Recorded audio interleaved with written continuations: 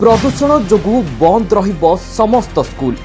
ଅନ୍ଲାଇନ୍ରେ ପାଠ ପଢ଼ିବେ ପିଲାମାନେ ଏପରି ନିଷ୍ପତ୍ତି ନେଇଛନ୍ତି ସରକାର ପିଲାଙ୍କ ପାଇଁ ଖୁସି ଖବର ବନ୍ଦ ରହିବ ସମସ୍ତ ସ୍କୁଲ ଅନ୍ଲାଇନ୍ରେ ପାଠ ପଢ଼ିବେ ପିଲାମାନେ ଏ ନେଇ ସୁପ୍ରିମକୋର୍ଟରେ ଶୁଣାଣି ହୋଇଛି ଭୟଙ୍କର ହେଲାଣି ସ୍ଥିତି ନିଶ୍ୱାସ ନେବାକୁ କଷ୍ଟ ଲାଗିଲାଣି ଭୟଙ୍କର ପ୍ରଦୂଷଣ ଯୋଗୁଁ ବଞ୍ଚିବା କଷ୍ଟ ହୋଇପଡ଼ିଲାଣି ଏହି ଶୁଣାଣିରେ କୋର୍ଟ ସରକାରଙ୍କୁ କଡ଼ା ନିନ୍ଦା କରିଛନ୍ତି ଦିଲ୍ଲୀ ସରକାର ରବିବାର ଦିନ ନବମ ଶ୍ରେଣୀ ପର୍ଯ୍ୟନ୍ତ ସମସ୍ତ ସ୍କୁଲକୁ ବନ୍ଦ କରିବା ଏବଂ ଅନଲାଇନ୍ କ୍ଲାସ୍ କରିବାକୁ ନିର୍ଦ୍ଦେଶ ଦେଇଛନ୍ତି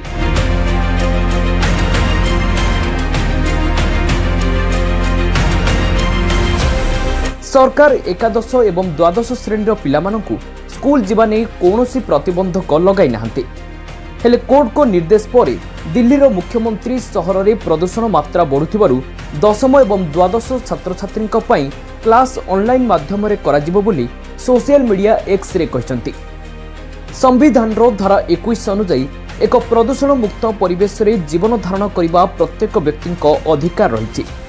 ବ୍ୟକ୍ତିର ଏହି ଅଧିକାରକୁ ପୂରଣ କରିବା ଦିଗରେ ସରକାର ଆବଶ୍ୟକ ପଦକ୍ଷେପ ନେବା ଦରକାର দিল্লিরে সবুদিনিয়া বাণ কটকণা লাগু করা দিগরে পদক্ষেপ নেওয়া আদালত সরকার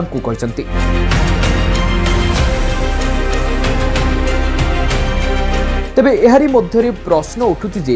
কাহিকি শীতদিনে বায়ু প্রদূষণ বড়িবার লাগিছে কেবল ভারতের নুহে দুনিয়ার এভাবে অনেক দেশে সমান স্থিতি সমুদ্র নিকটস্থ সহরের প্রদূষণ চারিআড়ে খেলে যাওয়া সামুদ্রিক পবন সাহায্য করে থাকে